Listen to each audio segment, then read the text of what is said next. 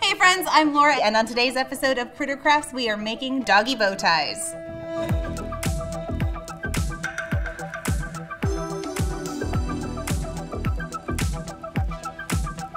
The materials you'll need for this are a ruler, roughly 12 inches square of fabric, an iron, elastic, disappearing ink pen, needle and thread, and scissors.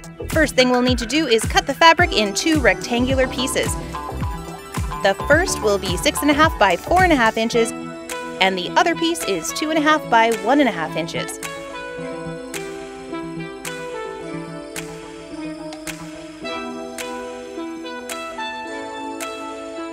Use your pen to mark the center of the large piece and fold the ends into the center. Iron in place. Now you want to mark the horizontal center of the folded piece and fold those ends in. And iron again.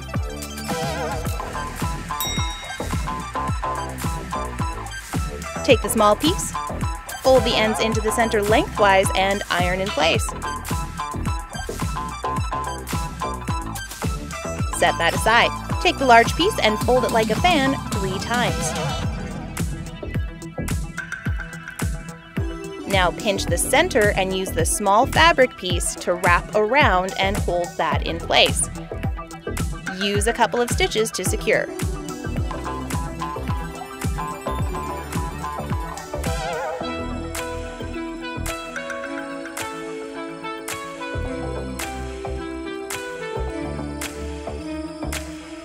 Take the elastic and make two loops large enough for the collar to fit through. Stitch the elastic.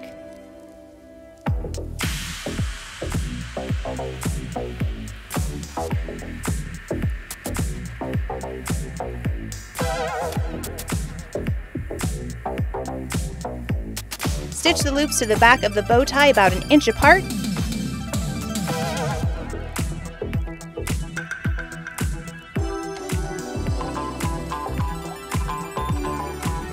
Put the collar through the loops.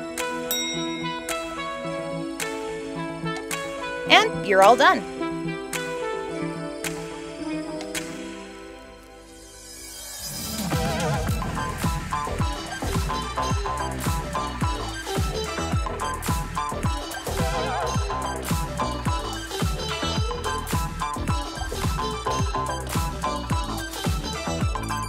Don't miss an episode of Critter Crafts. Click that follow button now, and we'll see you next